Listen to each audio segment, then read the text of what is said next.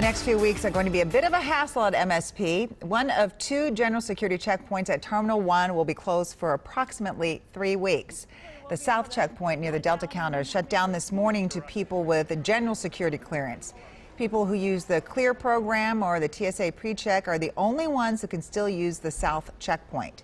As Susan Elizabeth Littlefield explains, the shutdown is a means to an end, right, Susan Elizabeth? That's right, Amelia. You know, you hear it all the time when it comes to airport travel. Pack your patience. No exception in this case, but we're told this will be a minor inconvenience that will yield a major payoff. One after another, passengers rerouted before they even make it through security. Unless you have clear or pre-check status, the south checkpoint is closed. General traffic is heading north. I just pray that we're able to make our flight because then those people are coming this way. It's an important flight. Her son is heading to college in Philadelphia. We're coming this way, so I hope that there's no problems over here.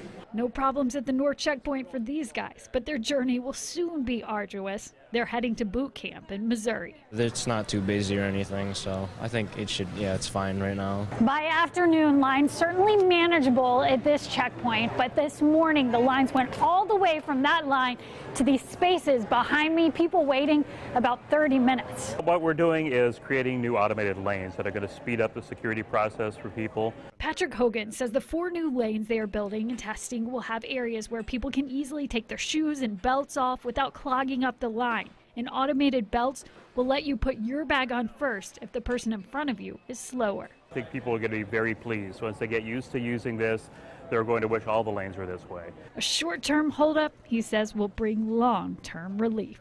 I mean, we'll get through it. We always do, right? Well, the staff that was working the south checkpoint is now working the north checkpoint. So they've got extra lanes going and the same amount of staff there. Hogan doesn't expect lines to be too much longer. That's the good news there. He says that they're giving the same advice to everybody who's flying out. If that's you, get there two hours early for domestic and three for international. We just cannot escape the construction, can we, Susan Elizabeth? Nowhere. Out on the highways and in the airport. All okay. around us. Thank you.